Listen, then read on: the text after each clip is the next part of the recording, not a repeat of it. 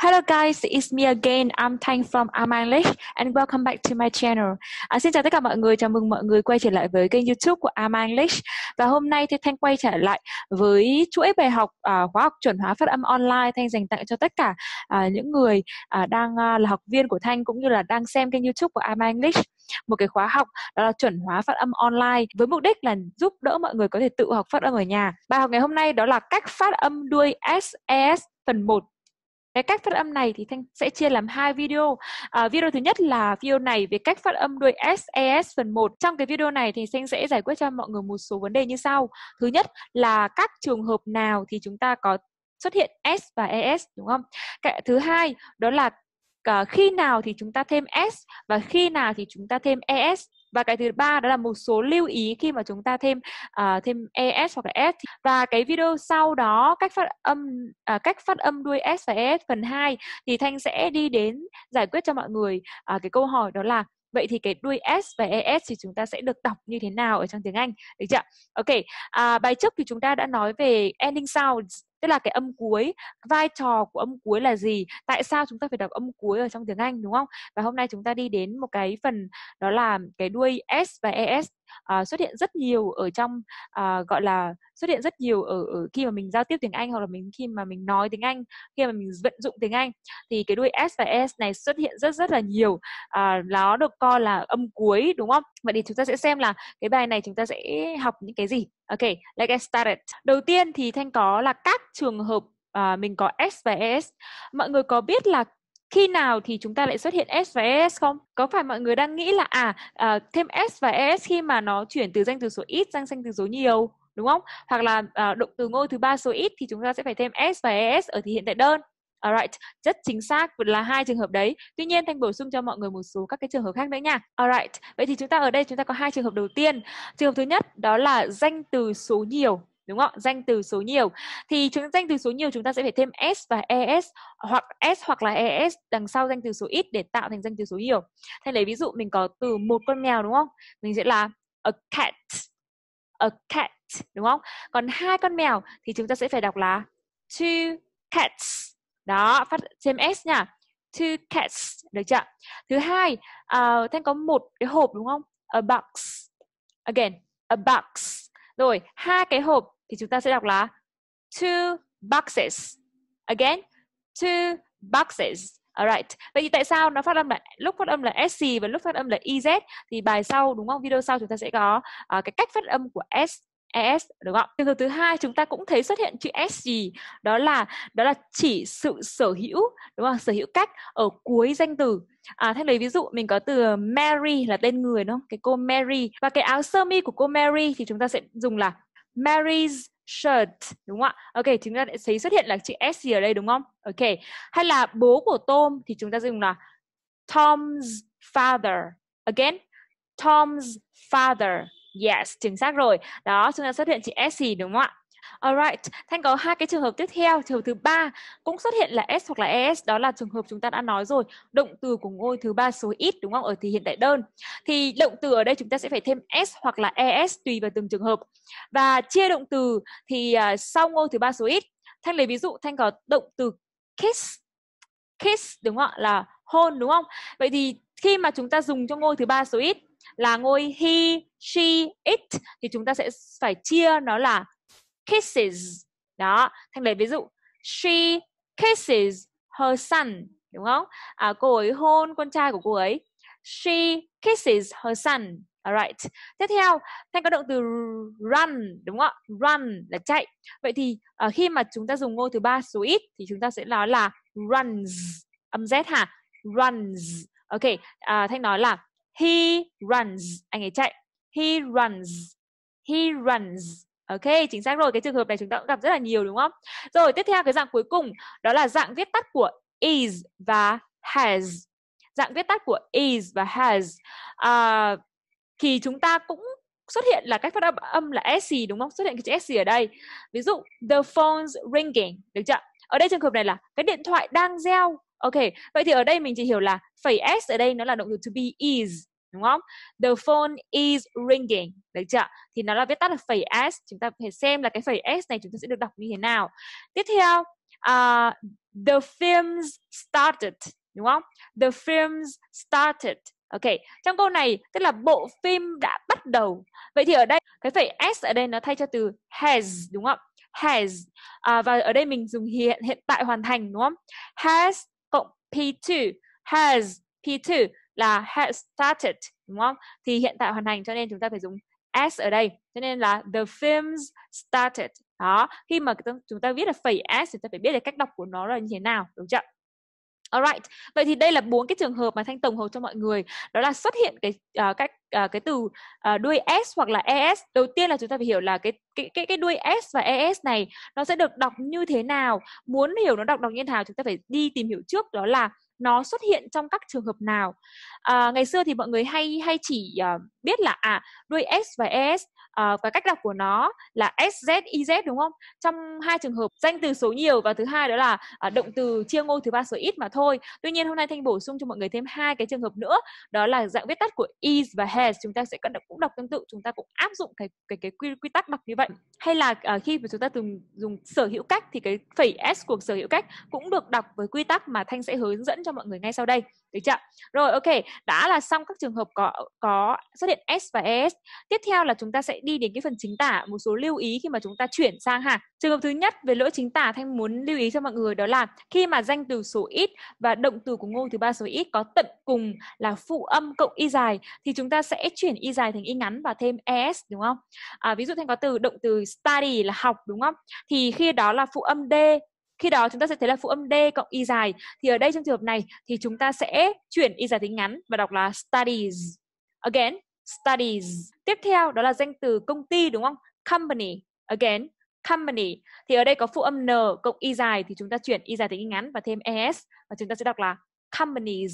Again, companies chính xác rồi. Tiếp theo cái trường hợp tiếp theo cần lưu ý đó là khi mà danh từ số ít và động từ của ngôi từ ba số ít kết thúc bằng f hoặc là fe thì chúng ta sẽ chuyển f và fe đó thành v và thêm es đúng không ạ? À, thanh có ví dụ à, có hai danh từ ở đây. Thứ nhất là danh từ một chiếc lá là a leaf đúng không? Kết thúc là f.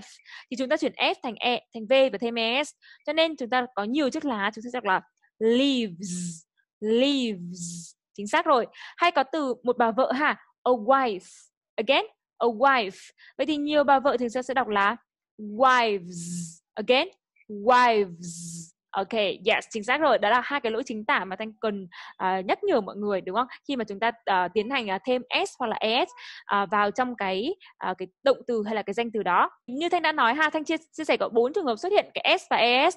Thì hai trường hợp đó là uh, viết tắt của is và has thì chúng ta luôn luôn phải s rồi. Trường hợp thứ hai đó là viết uh, sở hữu cách thì chúng ta cũng luôn luôn có chữ phẩy s rồi đúng không? Đó là khi mà mình thêm s vào.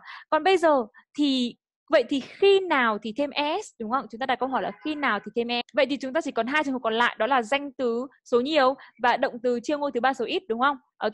À, vậy thì ở đây thì thanh đưa ra một câu thức hả?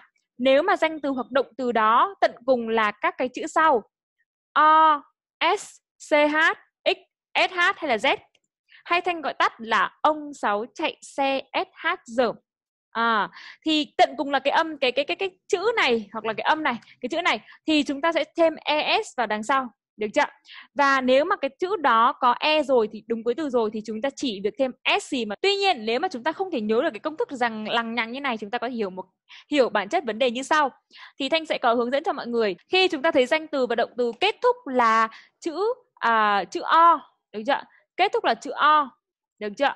Hoặc là các âm gió hoặc là các âm gió à, thế nào gọi là âm gió? Thế lấy ví dụ hả các âm mà nó có xì gì rồi âm gió. À, ví dụ là âm s xì à, âm s cái chữ s này nó có xuất hiện các âm gió này xuất hiện nhiều lắm. À, về mặt âm hả? À, hay là âm sh, hay là âm uh, sh. đó mọi người thấy không? Đều xuất hiện cái chữ s này được chưa? Hoặc là uh, âm x, chữ x gì đấy ạ? Chữ x gì mình có thể được phiên âm này này? X, được không ạ? Thì thấy mọi người không? Âm s gì này? Đó thì ở đây là họ nhà âm gió âm s hả? Họ nhà âm gió. À, ok. Tiếp theo mình cũng có một cái họ nhà âm gió tiếp theo như là âm z như âm này âm dung hả? Họ nhà âm z. Thì lấy ví dụ mình có chữ z này đúng không? Hay là mình có chữ âm ờ, âm g, g. À, cũng được như vậy cũng được uh, cũng được coi là là âm z này ha. Rồi tiếp hay là chữ um, uh, đó thì cũng coi là cái họ nhà âm z này được chưa? Vậy thì tóm lại cho thanh khi mà mọi người thấy là cái từ nào uh, tận cùng là chữ o hoặc là cái âm gió uh, âm gió ở đây mình sẽ có chia làm hai loại là âm gió vô thanh là s, hay là âm gió hữu thanh là z. đó âm s thì có có nó biến thể thành rất là nhiều loại ví dụ chữ sờ dài sh, hay chữ ch, đúng không? Hay x, à, âm x gì đó. Hoặc là âm uh, âm dung thì nó sẽ có thể là âm j hoặc là âm j đó thì tóm lại là chúng ta thấy nó tận cùng là những cái từ đó. Cái âm đó thì chúng ta sẽ thêm es vào đằng sau. Nghe thì có vẻ phức tạp đúng không? Nhưng mà bây giờ thanh sẽ à, lấy ví dụ minh họa cho mọi người dễ hình dung hơn ha. À, thanh có hai bảng đối với động từ và danh từ. Thì đầu tiên đó là bảng về động từ. Tức là à, ngôi i u we they thì chúng ta sẽ cộng với động từ. Và động từ này không chia tức là ở dạng nguyên thể. Thứ hai ngôi he she it thì chúng ta sẽ cộng với à, động từ. Nhưng động từ này sẽ thêm s hoặc là es đúng không? Bây giờ chúng ta sẽ đi xét hả à, go, đúng không? À chữ o rồi rồi, họ nhẩm chữ o đây rồi, đúng không? Thì chúng ta sẽ phải thêm es chính xác. Và ở đây mình đang là goes. Tại sao đọc là go và z? Thì chúng ta sẽ có bài học ở video tiếp theo ha. Bây giờ chúng ta tạm thời cách phân biệt đã ha. Go và goes. Tiếp theo mình có từ kiss. Âm cuối là gì ạ? À âm kiss, âm gió, đúng không? Mình sẽ có chữ kiss. Chính xác. Vậy thì ở đây là nó rơi vào trường hợp này rồi, thì chúng ta sẽ phải thêm es đúng không? Và trong cái từ này chúng ta sẽ đọc là cases. Again cases. Tiếp theo mình có tự động từ watch. Watch. À mọi người thấy ông gió đó. Chữ chữ ch này nó sẽ được phiên âm là sh. đó. Đó. Và khi là chúng ta sẽ thêm s và ở đây chúng ta sẽ đọc là watches. Watches. Được chưa? Ok, tiếp theo thanh có từ box. Ở đây mình thấy à chữ kết thúc là chữ x đúng không? Đề chữ x. Còn nếu mà mình không không nhớ thì mình có thể nói là à box kết thúc là âm gió. Âm s gì? Âm ks ạ. Box k kết thúc là âm à, cũng là âm gió đúng không? Cho nên chúng ta phải thêm s và chúng ta đọc là boxes again boxes chính xác. Hay là wash âm gió đúng không? Có thể hiểu là ở đây sh từ đây rồi sh rồi thì thêm s. Hoặc là mình hiểu là wash là âm gió. Đúng chưa? Thì chúng ta sẽ phải thêm s mình sẽ đọc là washes again washes. Tiếp theo quiz âm z ha? Quiz quiz. Uh, chúng ta đọc là quizzes. Again quizzes. Đó. À, đó là phần động từ bảng động từ. Tiếp theo là chúng ta sẽ đi đến về bảng danh từ. Thì chúng ta cứ từ danh từ số ít và chuyển sang danh từ số nhiều. Chúng ta phải thêm s hoặc cái s. Ở đây thành lấy ví dụ mình có từ à, tomato. Again a tomato. Một quả cà chua đúng không? A tomato. Và ở đây âm o đúng không? Chữ o. Thì chúng ta sẽ phải à thêm s. Chúng ta sẽ đọc là tomatoes. Again, tomatoes. Tiếp theo, a mass. A mass gì ạ? Mass. Đó, về thêm s. Masses.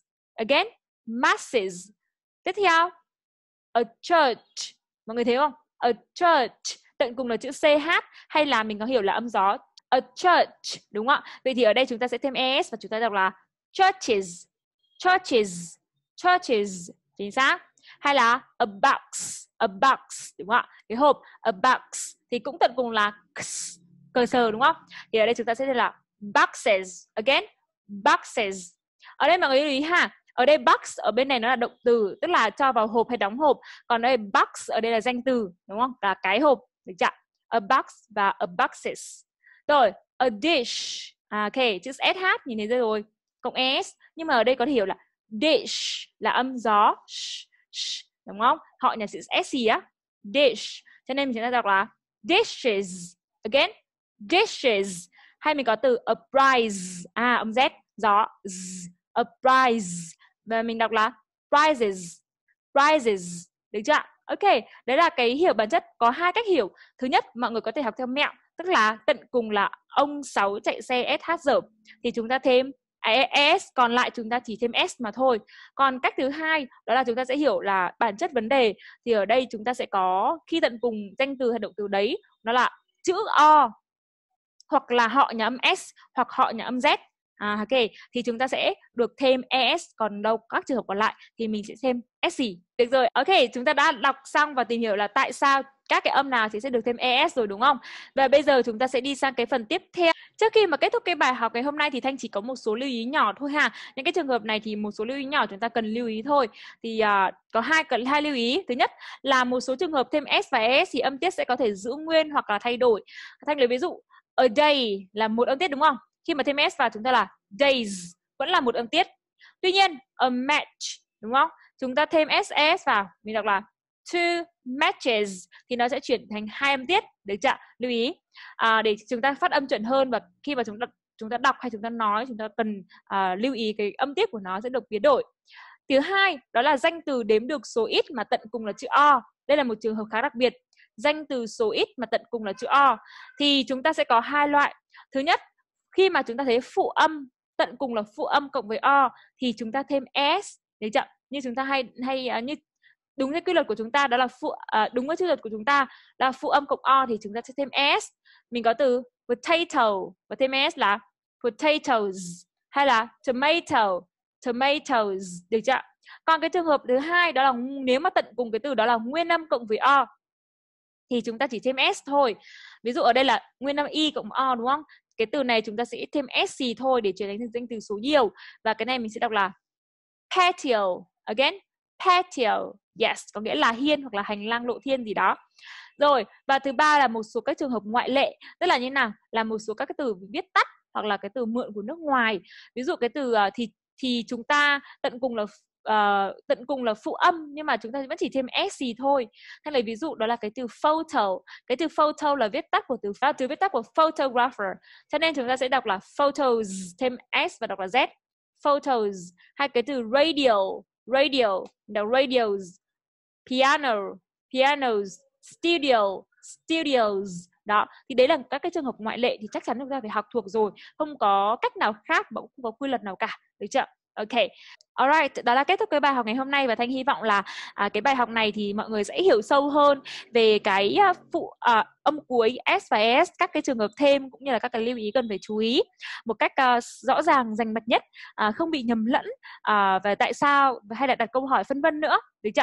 Ok, nếu mà mọi người thấy video clip của Thanh hay thì hãy cho Thanh một like, share và subscribe kênh YouTube của Am English để đón chờ rất nhiều các cái video clip, các cái chuỗi bài giảng về học giao tiếp, học phát âm cũng như là các cái phương pháp học tiếng Anh hiệu quả. Alright, so okay, so that is for today. Thank you for coming my class and see you next time. Bye.